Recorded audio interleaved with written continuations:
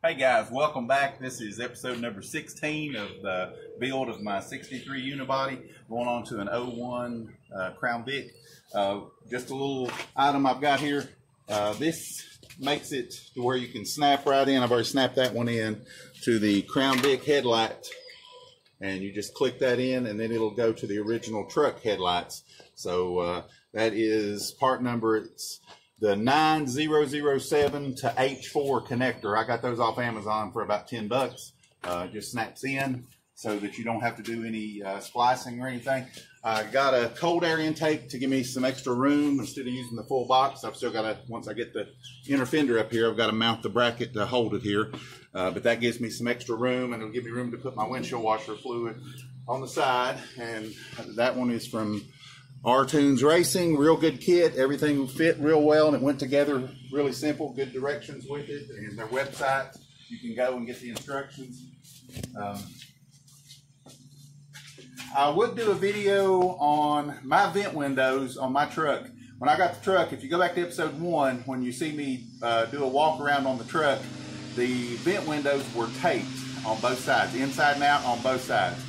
Uh, the little handle that closes it, that holds it on the divider bar, those were broke off on both sides, and they, the doors overall were in great shape. But man, the vent windows, for whatever reason, were just trash. So thankfully, on Facebook Marketplace, I found a, a pair of doors. They weren't unibody doors, but that didn't matter. Uh, from a 63 model truck in Knoxville, Tennessee, which is a couple hours away. I drove down. Uh, the vent windows were in great shape. The doors, the bottoms were completely rusted out. And I mean, they were terrible. Uh, but anyway, I paid 80 bucks for the two doors because I needed the vent window stuff, and that saved me. If you guys have priced this stuff, you know that saved me a bunch of money. Uh, but Jesse, if you'll step around off there and then uh, just turn back to the door. So I did get vent window gaskets. I have put those in. I've got the got this one sitting back out here ready to put back on the truck. I will not do anything at all as far as telling you how to do this or showing you anything to do with this. Go to Rudy's Resurrection episode 15. So if you have any uh, desire to work on your door, the um, anti-rattle kit, uh, the vent window gaskets, any of that stuff that you want to do with your doors, look up Rudy's Resurrection episode 15. He does, Fred does an incredible job on that. And thank you, Fred. I used that episode and referred back to it multiple times as I did my doors, and you made it so much easier than just trying to do that on my own. Um, I am, if you'll step over here, Jesse, like a lot of, follow me around, like a lot of guys, um, I, well, I've cut a notch in up to here for my fuel filler to come up uh, so that that can drop down on all the way. And on the, um, if you can see here, back up just a little bit, uh, you can see the parts I've cut off. This is what I'm taking out, the little vent pipe and the actual fuel filler neck piece. That's what I have cut out. And I've got this part, which will go, I'll put a, I've got the hose that'll go there and the other hose and we'll clamp those on. And what I'm planning on doing, I originally thought about using the jerry can I got off of Matt at River City and doing the jerry can like he was doing, but that's going to be a lot of extra work and that may be something I switch to down the line, but just for right now, I'm just going to drill a hole out. I've got a um, hole saw, so I'm just going to pop a hole in here, uh, stick that in, run the lines up and clamp that to it once I drop the bed back down. And I'm just going to have my fuel outlet here. Uh, got the cap ready to go in there. So that'll do that. Uh, a couple things I'm doing. Again, like on the front, uh, to make it where I'm not having to splice and mess anything up. Um, on my original tail light brackets, um, I've got the wires run. These are all connected. Uh, got them all labeled. And what I'm doing is I took one of the front ones out because uh, it's the same socket. And I have got a hole saw. I saw this idea from someone else.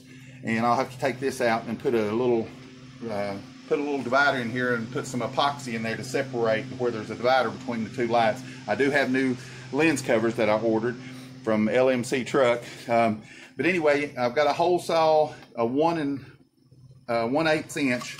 So you use that to drill the holes. And then what I took was a Dremel tool. Uh, well, first I took the socket itself and would lay it in the hole and took a pencil and just went around the little, I guess you'd call it the ears of this.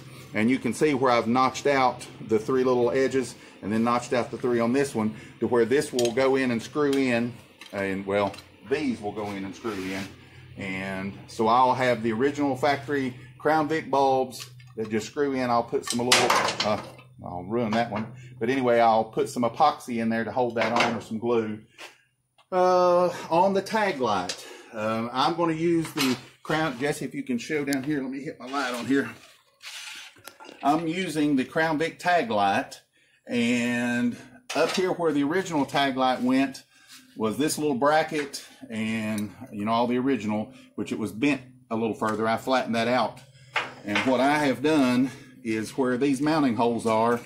I have drilled out a hole there and a hole there. So I'm going to put the Crown Vic tag light in the exact spot up under there. Don't you don't need to show. They'll be able to see that. Uh, but anyway right up under there I'm going to put the Crown Vic tag light. Still got to run, uh, and I may go to Harbor Freight or Tractor Supply or somewhere, and either down here or on the um, tag, I mean the um, receiver hitch, I'm going to mount the backup lights somewhere, but I'll come up with that once I get to that point. But anyway, using all the Crown Vic factory bulbs, the tail lights, turn signals on the front, on the turn signals, I'm going to do the same thing with the hole saw. Showed you how I'm going to do the fuel line, and I've got the uh, flexible hose that I've got for that mostly that's it. One little tip, I always try to throw a tip in uh, as you're working in the garage. When you're up under the car, and I've seen this from somewhere else, so this is not my original idea, but I like it so much I want to pass it on. Uh, when you're under the car working and the strain of keeping your neck off the floor, trying to look at what you're doing, if you'll bring your two liter bottle out and use that as your little prop or pillow, that is real handy and it's free. Uh, so that's uh, repurposing that. Um, this will wrap up episode 16. I've got the truck ready. Um, uh, the hitch receiver is done. Uh, the fuel line or the fuel neck should be ready to put, as I showed you, the way I'm going to pop it in there. So I'm going to drop this back down, drill the hole for that, mount the hose, and get that ready to put the hose clamps on and everything. And I've got my exhaust done and run out and mounted where I want those. Uh, I just used the original Crown Vic, shortened it out, and then uh, put it got a connector that uh, shortened it up probably 10 inches from the original amount. Uh, well, you can see probably maybe close to 12 inches. That's the part I cut out, and then I just took the down where it turned down at the end, took it up there, and just got a connector and put those back together and tacked it or welded that all together and clamped it. Um, as I have been doing at the end of each video, I'm going to throw in a Bible verse. Actually, I'll do two today. And it's in Galatians chapter 6, verses 9 and 10. And Jesse's going to zoom in on it there. It says, Let us not become weary in doing good, for at the proper time we will reap a harvest if we do not give up. Therefore, as we have the opportunity, let us do good to all people, especially those who belong to the family of believers. So uh, keep doing what you're doing. Uh, don't give up. Don't get tired. Well, sorry about the little racket there my garage is a nightmare right now. I've got to clean up. That's I'm I'm like Nathan says. I'm getting to the mental overload of having all this stuff everywhere. But I've been working a lot and trying to keep stuff to where it's handy. So thank you guys for watching so much. If you like the video, subscribe. I'll keep doing this. Um,